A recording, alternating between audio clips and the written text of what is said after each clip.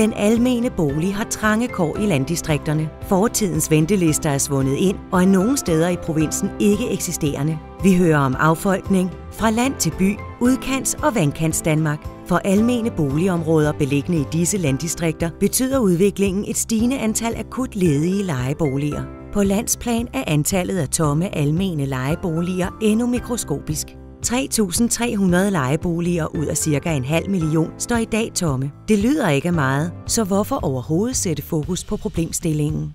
Det gjorde vi, fordi vi blandt vores 60 medlemmer har mange øh, boligorganisationer, som begynder at få problemer. Lejeledighed, økonomiske problemer, nogle af dem er måske ved at gå konkurs, og nogle af løsningerne har vi allerede taget hul på, nemlig at rive ned. Spørgsmålet er for os, er der overhovedet en fremtid for almene boliger i udkast Danmark?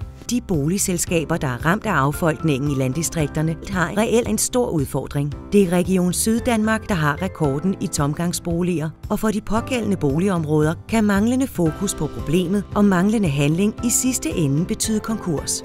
Vi må erkende, at der også sker en stor opsplitning af befolkningen, en socioøkonomisk og kulturel opdeling øh, i forskellige boligområder. Og vi skal sikre i den almene sektor, at vi hele tiden har trygge boligmiljøer for de dårligt stillede. Og det lægger ekstra pres på os netop i udkants Danmark. Det er ikke værdigt. Hverken for de beboere, der stadig bor i disse boligområder, for boligselskaberne, for landsbyerne, for kommunen eller for hele den almene boligbranche. Derfor må vi stå sammen om yderområdernes udfordringer og sætte spot på og udnytte de potentialer, der trods alt er. Det værste, vi kan gøre, er at fortsætte uforandret. At køre videre i samme spor, upåvirket af markedets og befolkningens forandringer. Vi er nødt til at omstille os til de nye tider og de nye behov. Vi er nødt til at stå stærkere i den skærpede kamp om kunderne i yderområderne.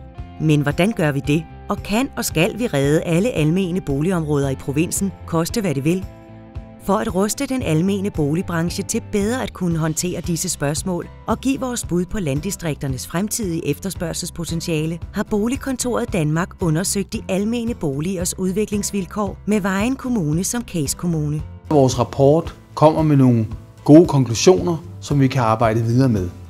For det første, så viser det sig, at der er behov for almene boliger i udkants Danmark, også fremover. Ikke i de helt små landsbysamfund, men i de større byer i udkanten. For det andet, så skal vi sikre os, at vi med lovgivningen i hånden kan få nogle mere fleksible udlejningsregler, og vi måske også kan få nogle andre måder at finansiere på, når det begynder at knibe, når konkurrencen bliver for voldsom mellem ejerboligen og den almene bolig. Jeg tror, at lejeboligen faktisk vil få sin storhedstid nu i udkants Danmark, fordi lejeboligen er meget mere fleksibel, øh, og den giver større tryghed og større mobilitet. Det er vanskeligere med ejerboligen, hvor man måske ikke kan være sikker på, at man kan sælge boligen igen, selvom man har råd til at købe en. Undersøgelsen udmunder i en rapport, der opfordrer boligselskaberne til i højere grad at begynde en reel udskillelsesproces. En vurdering af, hvilke boligområder og bebyggelser, der bør afvikles, og hvilke der bør udvikles og tilpasses fremtidens efterspørgsel. Det er en stor, tung og følelsesmæssig svær opgave. Vi arbejder i realiteten ikke med boliger, men med mennesker. Derfor bør boligselskaberne heller ikke stå alene med opgaven.